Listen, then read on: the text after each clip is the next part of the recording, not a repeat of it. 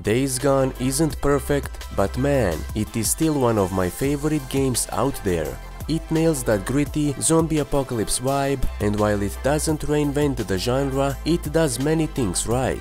But if you are playing on a PC, you have probably noticed it can be a bit demanding for your hardware. That's where this video comes in. Today, I am delivering my optimized PC settings to help you get smoother gameplay with just a few clicks of a mouse. Whether you are playing the original PC version or the new Broken Road DLC, also known as Days Gone Remastered, this video will help you make the ride through the apocalypse smoother than ever before. And now, let's optimize the game for a smoother gameplay experience and boost the overall performance using my optimized PC settings. This method works best for optimizing the overall performance on systems where the hardware resources are not severely limited. Otherwise, I recommend checking out my other guide video focusing on reaching the maximum possible performance as it is more suitable for squeezing out every bit of performance that's left. If optimizing overall performance is indeed what you are looking for, let's begin. In this video, I will use an optimization tool called LowSpecs Experience. LowSpecs Experience is a PC video game optimization solution I developed uh, that allows you to optimize your favorite games based on your preferences and needs.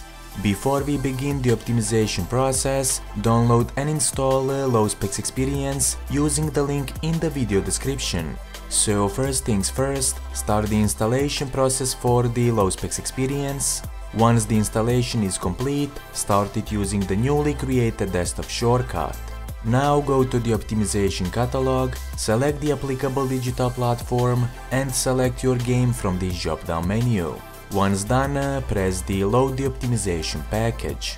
LowSpecs Experience should automatically detect the game version installed on your system if it does not, you will be asked to manually select the game installation directory. Now press OK and the optimization control panel will load. Once the optimization control panel has loaded, select the desired optimization presets and the in-game resolution. The optimization control panel in LowSpecs Experience offers many optimization presets, so it is best to experiment by testing them and see what works best for you and your system. And now, to apply the optimization, press the execute optimization button and then uh, start your game. Also, if you are unsatisfied with the optimization applied by LowSpecs Experience, you can easily remove the optimization effects using the revert changes option. That will do it for this video. If this video was helpful, be sure to like it and subscribe. Until next time, happy gaming!